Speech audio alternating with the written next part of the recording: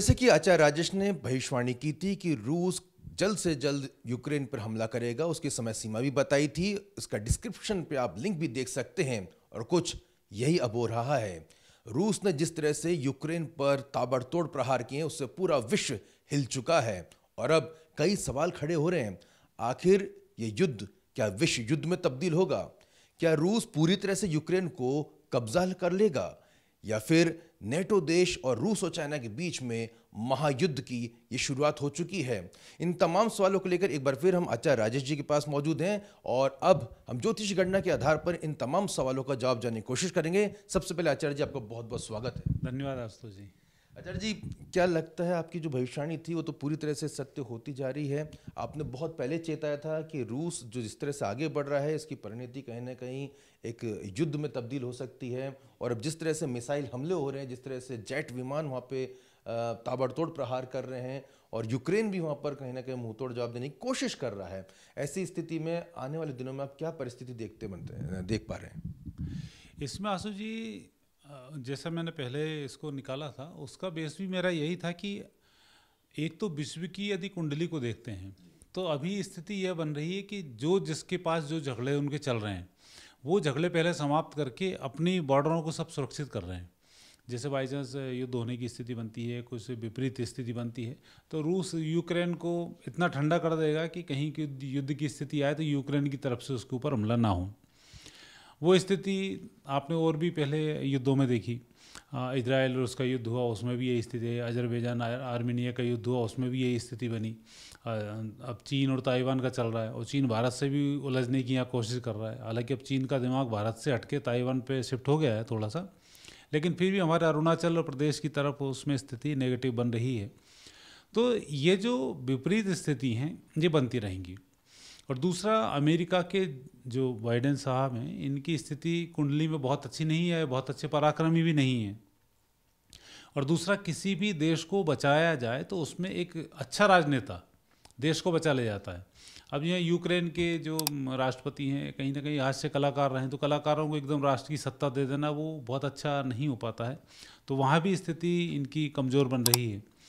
तो विश्व युद्ध के स्तर पर यदि देखा जाए तो युद्ध तो 17 नवंबर 2019 से जब से चाइना ने वायरस का अटैक किया है, तब से युद्ध शुरू हो चुका है। इसकी हम भविष्यवाणी कर भी नहीं वर्ल्ड वार शुरू हो चुका है।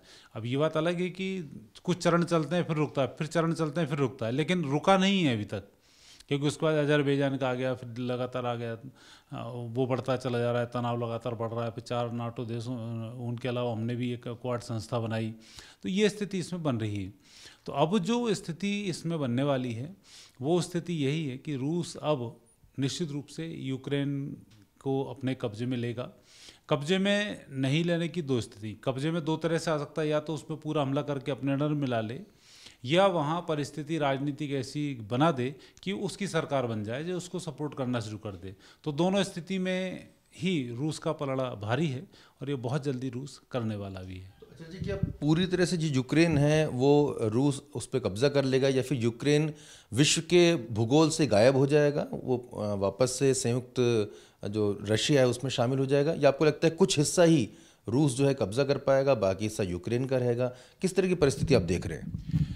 इसकी मूल जो परिस्थिति है, वो रसिया का कैसे भी करके सपोर्ट करना शुरू कर देगा। चाहे वो अलग होके कर दे या रूस में मिलने की बात कर दे। क्योंकि अभी परिस्थिति पाँच तारीख, छब्बीस तारीख को ही मंगल का राशि परिवर्तन है और छब्बीस और चार, दो अट्ठाईस, दो तारीख। दो तारीख के बाद से जो मंगल का परिवर्तन आएगा, जो मंगल असर करना शुरू करेगा तो उसमें दो स्थिति बहुत जल्दी निर्मित हो सकती है। या तो युद्ध बहुत टफ पोजिशन पर आ जाए और रशिया सीधी सीधी घोषणा कर दे कि अब कोई इसको छुड़ा के दिखा दे। तो ये स्थिति हो सकती है, यदि नाटो देश फेल होते हैं तो। और 90 परसेंट ऐसी स्थिति इसमें दिख रही है, क्योंकि बाइडेन सरकार उतना कुछ बिगाड़ नहीं पाएगी। और दूसरी स्थिति, यदि वो कूटनीति चलना चाहेगा तो वहाँ पर भी व्यक्ति अपना बैठा कर उनकी सत्ता परिवर्तन करेगा, क्योंकि केतु और चंद्र में युद्ध का आगाज़ हुआ है। लग्न स्थान पर केतु चंद्र हैं तो जो भी व्यक्ति सोच के करता है, वो काम वो संपन्न कर डालता है।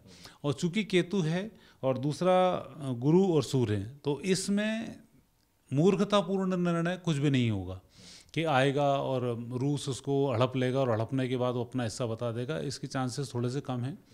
वो उसको अपने एक प्रदेश का दे सकता है या एक स्वतंत्र देश के रूप में मान्यता दे सकता है। तो इस तरीके की कोई वो एक मान्यता देगा, जो विश्व उसको स्वीकार करेगा। यानी कि रूस की ही जो कहा जा सकता है कि जो उसने सोचा, उसके मुताबिक ही इसमें परिणाम निकलेंगे और यूक्रेन कहीं ना कहीं पूरी तरह से कंट्रोल में रूस की ही आ जाएगा। अभी जो मौजूदा परिस्थिति बन रही है आचार्य जी, उसमें क्या आपको संभावना लगती है कि रूस और चीन, क्योंकि चीन लगातार साथ दे रहा है रूस का, वही अमेरिका भी कह रहा है कि देखिए हम पीछे नहीं हटे हैं, उनके ऊपर अमेरिका की जो प्रतिष्ठा है, वो पूरी तरह से दाव पर लगी हुई है। अगर वो नेटो मुल्कों के साथ में रूस को कड़ा जवाब नहीं देता है तो अमेरिका की जो अंकल सैम की जो इमेज है, वो पूरी तरह से ध्वस्त हो जाएगी। निश्चित रूप से इमेज तो इनकी ध्वस्त होनी है, क्योंकि जब आप एक बार किसी चीज़ में बढ़ जाएँ और फिर अराजकता फैलाना शुरू करें तो आप मात खा जाएँगे। और दूसरा, हमारे यहाँ ज्योतिष शास्त्र में कुछ रीडिंग के तरीके होते हैं। जिस तरीके से अफ़गानिस्तान को लावारिस छोड़कर अमेरिका का भागना लावारिस छोड़ता तो भी चल जाता, लेकिन उसने अपने साजो सामान, हथियार वगैरह सब छोड़ के वहाँ की जनता को मरवाया है। तो जो पाप लगता है, ये पाप व्यक्ति को नष्ट करता है, जो हमारा एक साइंस है पाप को बहुत ज़्यादा मान्यता है मान्यता देता है। जैसे कोई एक मुख्यमंत्री है कुंडली मुख्यमंत्री बनने का योग है तो नियम ये कहता है कि ज़िंदगी भर उसे मुख्यमंत्री रहना चाहिए। लेकिन मुख्यमंत्री रहते हुए वो जो पाप करता है उस पाप के कारण वो अपने पद से गिर जाता है और नीचे पहुँच जाता है। तो वही स्थिति यहाँ भी लागू होती है कि अमेरिका ने इतने अब पाप कर लिए हैं कि लोगों को लड़ाना, इस तरीके से शुरू किया कि अब वो बैकफुट पे आना उसका निश्चित है और इस तरह से टकराने की स्थिति उसकी नहीं है। और जहाँ तक कि पुतिन जी का सवाल है तो पुतिन जी के बारे में मैंने पहले भी कहा था कि ये ऑर्डनरी व्यक्ति नहीं है। ये वापस सोवियत संघ को सोवियत संघ बनाएगा, उसके लिए पैदा हुआ है। मोदी ऑर्डनरी व्यक्ति नहीं है, मोदी वापस भारत को पूरा वही भारत बनाएगा जो भारत है। तो ये जो लोग और ये राक्षस के रूप में चीन में बैठे हुए हैं तो ये उनकी एक भविष्यवाणी है, उसमें भी मेघनाथ का स्वरूप इसको बताया है सूरदास जी की में। तो ये भी एक स्थिति बनती है। तो वहाँ अमेरिका में जो ट्रंप की पोजीशन थी, वो एक राजा की पोजीशन थी। बाइडेन की जो पोजीशन है, वो एक पोजीशन भारत की भाषा में बोलना चाहिए, बड़े बाबू की पोजीशन है कि एक सरकारी सर्विस वाला आदमी यदि आपने पीएम राष्ट्रपति बना दिया जैसे हमारे मनमोहन सिंह जी थे। नौकरी पैसा आदमी का आपने प्रधानमंत्री बनाया तो दस साल तक आप बहुत अच्छा आउटपुट नहीं दे पाए। तो सेम इनके साथ भी रहा। तो उतना अच्छा नहीं कर पाएँगे। रूस कहीं ना कहीं अपना प्रभाव दर्शाएगा और आने वाले समय में रूस भारत की दोस्ती तो निश्चित रूप से बनी रहेगी। पर आप जो चीन की बात कर रहे हो, चीन इस समय सपोर्ट इसलिए कर रहा है चीन को सबसे ज़्यादा डर अमेरिका से ही था कि इस केस को पकड़ चुका था वो, कोरोना वाले, क्योंकि कोरोना इसने फैलाया और वो ट्रंप तो इन पर हमला करने की पोजिशन पे भी थे। तो वहाँ से ये विपरीत स्थिति शुरू हुई और चीन की स्थिति भी बहुत ठीक नहीं है अभी कुंडली के बेस पे देखा जाए तो। आर्थिक रूप से वो भी डूब रहे हैं।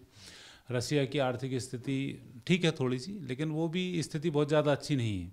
तो जितने उनके ऊपर आरोप लगते और अभी कसावट करना शुरू करता तो उससे पहले उसने हमला कर दिया। और ये चूँकि मैंने कहा ना सोची समझी साजिश का एक हमला है तो उसमें सफल हुए हैं। तो नहीं, अंकल सेम की जो आप बात कर रहे हैं तो अंकल सेम यहाँ पर मात खाते देख रहे हैं। पर घायल शेर जो होता है, वो खतरनाक होता है। तो मैंने पहले वाले भी एक बार आपसे चर्चा की, क्योंकि ये जो चीन का हमला जब इसके ऊपर करेगा, ताइवान के ऊपर, तब उसका ओरिजिनल स्वरूप दिखाई देगा।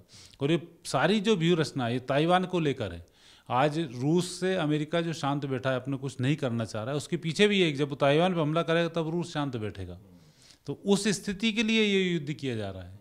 और इसका फ़ायदा रूस ने उठाया और रूस ने यूक्रेन को अपने अंडर में किया। वो उस चीज़ को समझ चुका था कि अमेरिका जब आएगा तो मुझे मजबूरी में उसका साथ देना होगा, क्योंकि इंटरनली वो चीन और रूस बहुत ज़्यादा अच्छे मित्र भी नहीं हैं, जितने वो दिखाई दे रहे हैं। तो ये स्थिति बनती है। ये इतना जो महत्वपूर्ण आपने डिप्लोमेटिक रीज़न और कहा जा सकता है कि एक इंटेलिजेंस आपने एक ने पेश किया है, देखिए बहुत महत्वपूर्ण बात यहाँ पे आचार्य जी ने बताई है कि रशिया को अभी अमेरिका इंटरफेयर करने की स्थिति में नहीं है और यूक्रेन में वही होगा जो रशिया चाहेगा। दूसरा, निश्चित तौर पर अमेरिका की प्रतिष्ठा यहाँ पर धूमिल होगी। जैसे कि आचार्य जी ने पहले भी बताया था कि जो बाइडेन की जो कुंडली है, बहुत ही कमज़ोर है और वो अमेरिका को वो स्थान दिला पाने में कामयाब नहीं हो पाएँगे, जो पहले अंकल सैम की मेज़ थी। लेकिन तीसरा, जो सबसे महत्वपूर्ण बिंदु यहाँ आचार्य जी ने रखा है, वो बहुत ही गौर करने लायक है, वो ये कि यूक्रेन नहीं, अमेरिका ताइवान पर चीन के हमले का इंतज़ार कर रहा है। जिस दिन चीन ताइवान की ओर ताकेगा, उस दिन अमेरिका उसको ज़रूर मुँह तोड़ जवाब देगा। क्या आचार्य जी मैं सही कह रहा हूँ? आपने इसका ये आपने बिल्कुल मेरा यही एक आकलन है। और इसी के आप वैसे देखें ज्योतिष वाइज देखें या हम भौतिक रूप से देखें तो आज उसने क्वाड देश जो बनाए हैं, वो इसलिए बनाए कि बाई चांस कहीं कोई तीसरा देश दखलंदाजी करके अमेरिका को रोकने की कोशिश करेगा तो क्वाड देश मिलेंगे। और नहीं तो अमेरिका अकेला उससे निपटने के लिए आएगा और उसमें भी क्वाड देशों को वो नाटो के साथ साथ सहायता लेगा। तो ऐसी जो एक व्यू रचना है तो वो व्यू रचना यहीं जाएगी, तभी फिर अमेरिका की स्थिति इसमें ठीक होगी।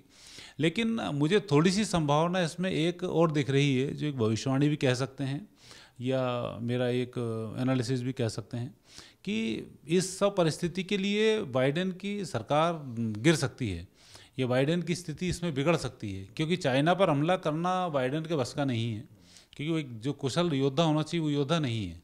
तो अगला जो राष्ट्रपति योद्धा आएगा वो फिर सब चीज़ों को बनाएगा और ये 2022-23 में ही ऐसा होगा। बीच में भी इनकी सरकार गिर सकती है बाइडेन। यदि उनका कुछ नियम होगा तो मुझे दिखता है चली जाएगी।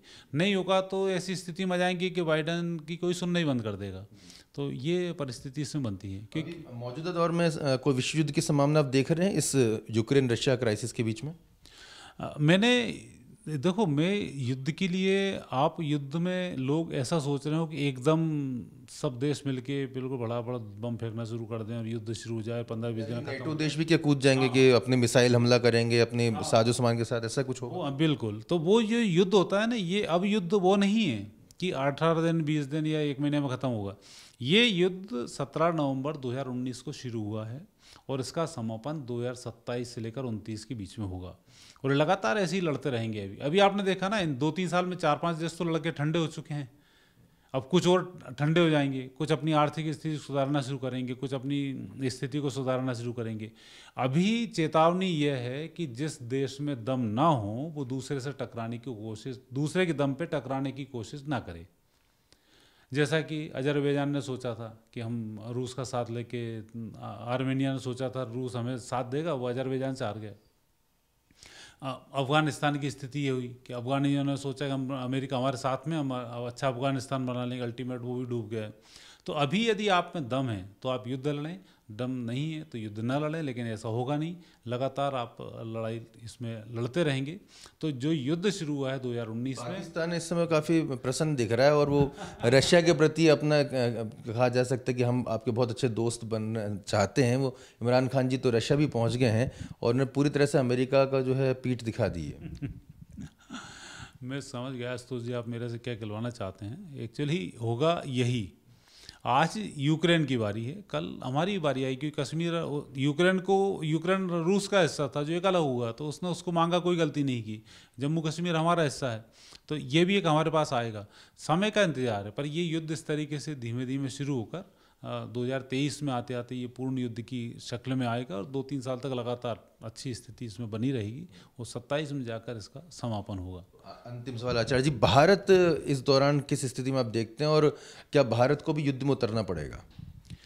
तो भारत की कुंडली भारत के ग्रहियों की स्थिति देखते हैं तो भारत विश्वगुरु बनने वाला है। और आज भारत के पास इतना अच्छा प्रधानमंत्री पूरी दुनिया में किसी के पास नहीं है। इतना अच्छा सुरक्षा सलाहकार अजीत डोभाल जैसा व्यक्ति किसी के पास नहीं है।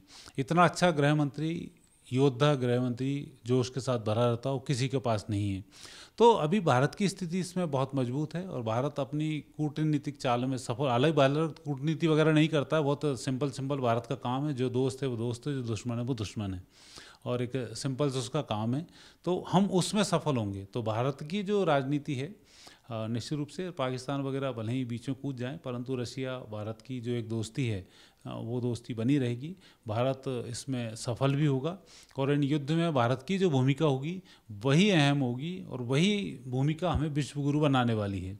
तो अभी भी रूस और यूक्रेन का जो समापन होगा, उसमें भारत इन्वॉल्व होगा और उसमें समापन होगा रूस की तरफ़ से और शांति की स्थिति बनेगी और भारत की इसमें जय जयकार होगी इस युद्ध में। क्या कोई ऐसी स्थिति भी भारत फंस सकता है, जैसे धर्म संकट कहते हैं कि एक तरफ़ रूस है, दूसरी तरफ़ अमेरिका है? क्या ऐसी कोई धर्म संकट की स्थिति आपको भारत के लिए दिखाई दे रही है? और ऐसी अगर है तो भारत किस तरफ़ झुकेगा? पहली बात तो ये भारत के साथ ऐसा धर्म संकट आएगा ही नहीं, कि इधर जाए या इधर जाए। क्योंकि इस स्थिति को भारत के समस्त प्रधानमंत्रियों में, या तो लाल बहादुर शास्त्री ने समझा था, या मोदी जी ने समझा है, कि भारत एक ऐसा व्यावसायिक हब है, जिसकी तरफ़ हर मधुमक्खी भिन्न बना रही है शहद पाने के लिए। और भारत में ही वो शहद छुपा हुआ है सब देशों का। तो भारत के साथ इस तरीके की नेगेटिव स्थिति नहीं बनेगी, क्योंकि अभी पूरी दुनिया का टारगेट जो है चीन है, जो एक खलनायक, अभी अब सामने नहीं आया है। धीमे धीमे उसने आग लगा के छोड़ दी है। अब वो इंतज़ार कर रहा है दूसरे उसका। तो बस वो जब आएगा, तब भारत की एंट्री होगी और फिर भारत को विश्व विजय की प्राप्ति होगी। भारत इस परिस्थिति में यदि आप पूछते हैं, रूस और अमेरिका में कुछ विपरीत परिस्थिति बनेगी तो ऐसी स्थिति इसकी नहीं बनेगी। और भारत, चूँकि एक ऐसा हिस्सा है कि जिस पे ये प्रश्न बेकार रहेगा कि भारत रूस की तरफ़ जाएगा या भारत अमेरिका की तरफ़ जाएगा।